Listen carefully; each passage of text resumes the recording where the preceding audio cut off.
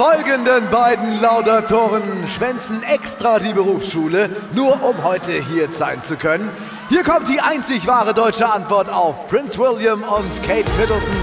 Hier sind Dennis und Larissa.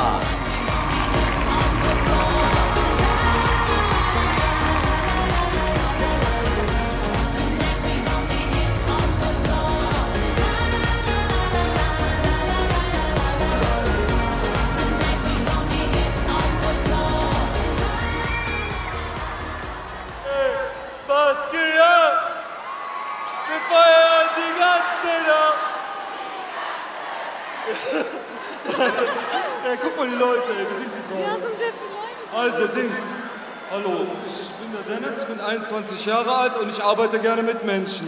Guten Abend, sehr geehrte Damen und Herren. Mein Name heißt Larissa und wir beide, wir machen heute für Sie, für den besten Live-Act 2011 ein Laudatio. Stimmt. Dings, Larissa, sag mal, hier, was ist ein Laudatio? Sag mal, sag mal. Also Dennis, ein Laudatio ist ja bekanntlicherweise Ja. so ein, ich sag mal so, Lobrede, Ja.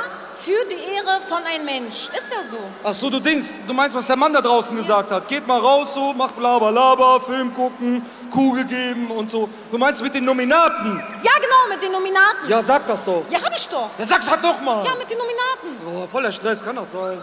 Was ist denn jetzt mit dem Ding? Wer kriegt das? Ja, weiß ich doch nicht. Ich weiß es auch nicht. Aber hier, äh, Dings, äh, was denkst du denn, wer gewinnt? Ich weiß nicht, also ich persönlich finde es sehr positiv, wenn auf jeden Fall Rihanna gewinnt. Ja? Oder Pietro Lombardi. Ja! Ja. Ich Ja. finde, er hat eine sehr gute Ausstrahlung und auch einen sehr guten Charakter, weißt du? Ja, eine Menge, aber leider nein, leider gar nicht. Die machen nicht mit in dem Film. Warum? Wie, warum, warum, warum? Guck doch. Bester Live-Act.